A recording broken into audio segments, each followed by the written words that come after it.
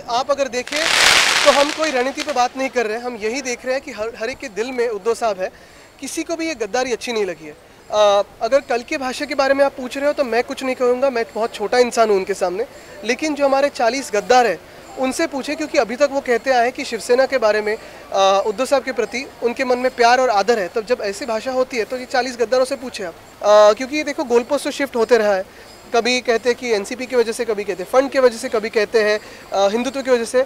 असल बात यही है सही बात यही है कि एक आदमी के राक्षसी महत्वाकांक्षा जिसे कहते हैं उसी के लिए वो वहाँ गए चुनौती इसी बात की है कि ये कौन थे? ये कैसे नहीं सामने की गद्दारी करने वाले थे? ये हमारे साथ हमने जित, जितना प्यार दिया विश्वास दिया इनको हमने क्या गलत किया? मुझे लगता है यही सोच की चुनौती है। बाकी कोई राजनीतिक चुनौती नहीं है। अभी जो असल शिवसैनिक है वो सामने आ रहे हैं। मैं तो कह रहा हूँ, चलो, महापालिका के चुनाव है, चालीस गद्दारों की सीट पे चुनाव है, बारह गद्दार खासदार जो है हमारे, उनके सीटों पे ले लो। देखते कौन जीतता है, जनता फैसला लेगी। वो तो डर है, हम तो कह रहे आज ले लो चुनाव। लेटेस्ट अपडेट्स और ताज़ा तरीन खबरों के लिए टीवी वन इंडिया लाइव को सब्सक्राइब कीजिए और नोटिफिकेशन पाने के लिए बेल आइकॉन को दबाना मत भूलिए।